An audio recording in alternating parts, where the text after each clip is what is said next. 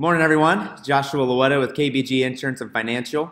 I just wanted to make a quick video today and talk about cyber liability insurance. Uh, something that's come up to my attention. I uh, watched a, a, video on in a, in a conference and just really uh, learned about cyber liability and, and the coverage, um, what it entails. And, and actually, a lot of business policies don't offer enough coverage. So, our business policy, for example, only had $50,000 in coverage for a cyber attack.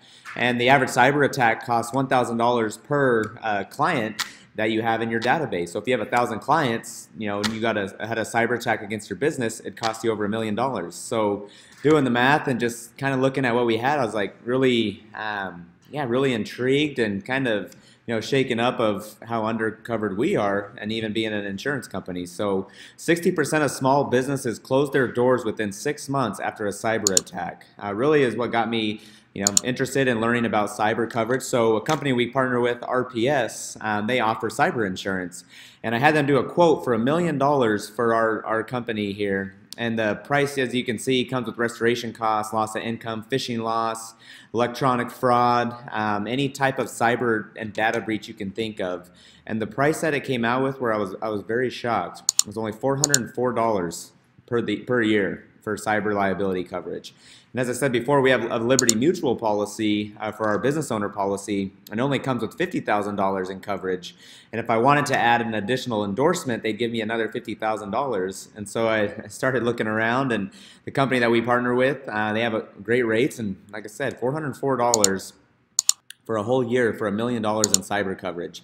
And being an insurance and financial company, as you can imagine, I mean, we have a database with a lot of clients' info. So getting this coverage in place is something that um, we're recommending to all business clients. Um, if you're asking yourself, well, you know, why would I need cyber liability and what kind of businesses need it? It's pretty interesting to see the exposures and, and, and entities that do need it. If you ask anybody for their personal information, name, address, date of birth, phone number, social security number, uh, you, you would need cyber liability coverage. If you take credit card payments, if you have a web page or social media accounts, if you utilize computers to store business information, you know, if you have employees and HR information, nowadays all you need is a name and date of birth and you can look anyone's information up online which is, is pretty scary to think about. So having a coverage like this in place for your clients and your business is, is super important especially the statistics of 60% of small businesses close their doors within 60 months after a cyber attack Another interesting fact that I, I found out was 43% of cyber attacks target small businesses. So started thinking about you know being a small business it's like okay well you know am i fully covered and protected you know and that's where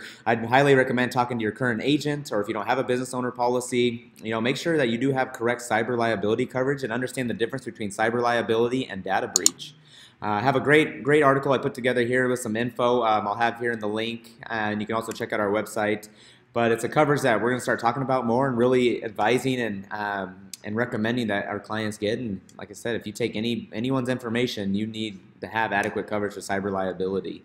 Uh, great article here from Warren Buffett. Uh, he was talking about cyber liability and insurance, and he invested in a company in 2015. And even from Warren Buffett's standpoint, it's the cyberspace is so large that no one can even comprehend it now. You know, it's just such a growing field. You know, and unfortunately in the in the wrong way, where it's you know people's information uh, being stolen. So, I uh, had an example here on the conference that they went through.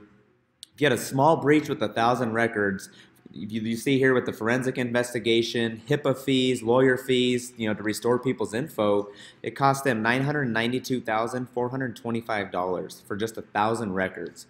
So if you have a thousand records or more, or even below that, you can see that it gets it it starts to add up. And if you had fifty thousand dollars in coverage, well, you can do the math. That's a that's a big difference there. So uh, again, I'll, I'll have, have these in the um, in our link there and also in the post. If you have any questions, please let us know. Uh, we'd love to help you out or advise you on how we can yeah, help you stay protected a little better and and you know inform you about cyber liability insurance and something that we just found out about and we're starting to learn and uh, pursue as well. So appreciate you watching. Hope you have a great day and uh, we'll talk to you soon. Thank you.